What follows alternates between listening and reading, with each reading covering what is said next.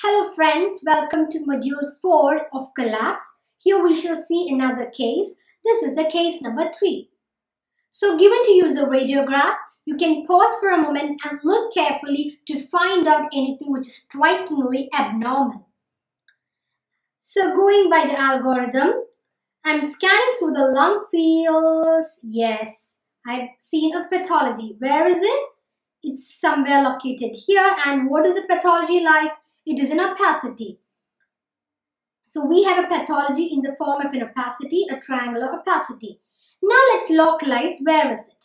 For this, we are going to apply the silhouette sign. Now, applying the silhouette sign, can you make out the right heart border? Yes, I can make it out. What about the diaphragm? Mm, no, I cannot make out the diaphragm. Only the far lateral end of the diaphragm can be made out. So the shadow is merging with the diaphragm. So this is located in the right lower lobe. Now we have to characterize the opacity and then look at the ancillary features. So our primary consideration is to initially differentiate it between consolidation and collapse and both are cases of what non-aerated lung parenchyma and for collapse the volume is lost and for consolidation, the volume is preserved. So let's see regarding the lung volume. By initial look itself, what is striking? The right hemithorax appears smaller as compared to the left. Visually itself, it is striking. So that's one point favoring reduced volume. Now we are going to look at other features. Can you see the bowing of trachea and deviation to the right side? It means the right side is pulling it. So there is some volume loss. And finally, I'm going to look at the hilum. So I can see the left hilum pretty clearly. What about the right hilum? So I'm saying that it is partially obscured. For comparison, I'm giving you the normal radiograph. What you can see here, you can see that the right hilum is pretty much seen. The right descending pulmonary artery is strikingly seen clearly. But what happened here? Here it is not so visible. It means that it is pulled down here. And yet again, if you were to look at the opacity clearly, I can make out a sharp lower margin, lateral margin. So this is nothing but the displaced major fissure displaced major fissure. So, summarizing the direct and indirect signs of collapse, yes, I've got loss of aeration, I've got displacement of the fissure. Where is it? It is over here and I've got crowding of bronchovascular structure. That is why you're not able to see anything here clearly. And basically you can see that the descending pulmonary artery has been pulled down and is not clearly seen.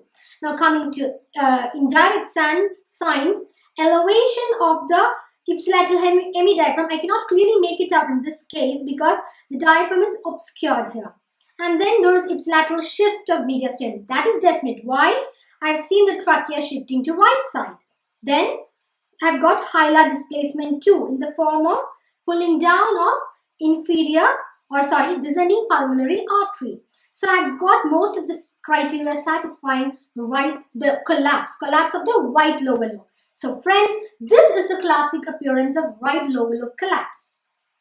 So coming to case 3 keeping the previous case in mind I said pattern recognition is very important. In the initial stages, you have to go by step-by-step -step algorithm. And now I know that right lower lobe collapse looks like a triangular density involving the right lower lo lower zones with added features already mentioned.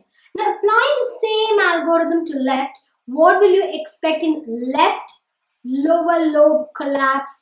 You expect again a triangular density in the left lower zone. So look carefully in the figure. What do you see? Okay, right, mm, pretty much okay.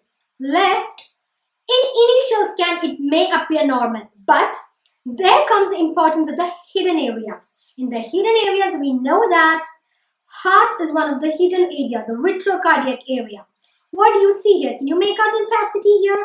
Yes, there is an opacity here. So that is the region of left lower lobe collapse.